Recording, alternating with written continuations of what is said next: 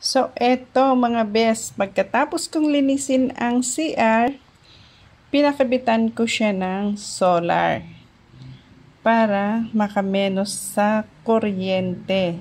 Sa halagang 300, may ilaw ng aming CR.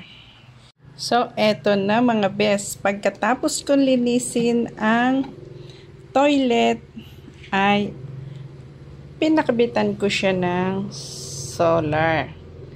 Wala. 300 Hong Kong dollar. Ayan, pinakabitan ko ng solar. Tsaka ko linis. Pinabaran ko ng Clorox ang CR para pumuti naman ng bahagya. Kasi ito 19